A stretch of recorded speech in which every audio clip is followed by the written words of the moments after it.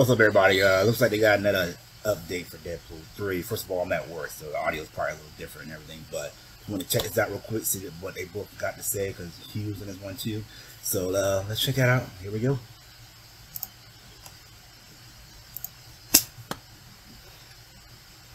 Hi. Hi.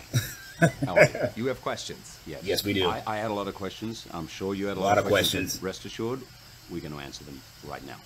Like, for example, how is Wolverine alive? Yeah. After Logan. Logan uh, takes That was gonna take place. 2029. Totally separate thing. Logan Okay. died in Logan. I figured that. I figured that. Figured that.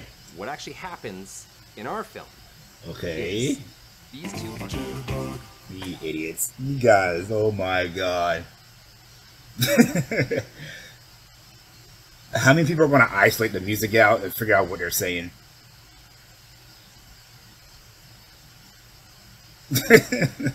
Stabbed in the head. That's funny. These guys are going to be hilarious together. They're going to be hilarious together. There's also be a copyright, so I'm about to mute this.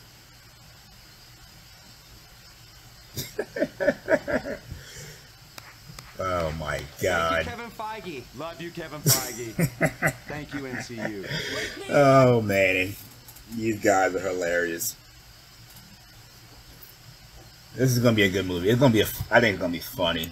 I think it's gonna be a funny movie. Um, the guys like they got a lot of good chemistry, so I'm, I'm excited for this. Um, a lot of people are like are kind of like whatever, but I'm I'm actually excited for it. So I'm a big Ryan Reynolds fan, and I love Wolverine. So I was talking to someone. I said it has to take place after, before Logan, so sometime in between. I don't know where it's gonna set, and just having them in, actually in the MCU now is gonna open up so many doors, especially for the X Men. So yeah, I'm excited for this. Let me leave a like down, uh, leave a comment down below. Make sure you hit the like button, subscribe button. Until next time, guys. I'll see you when I see you. Peace.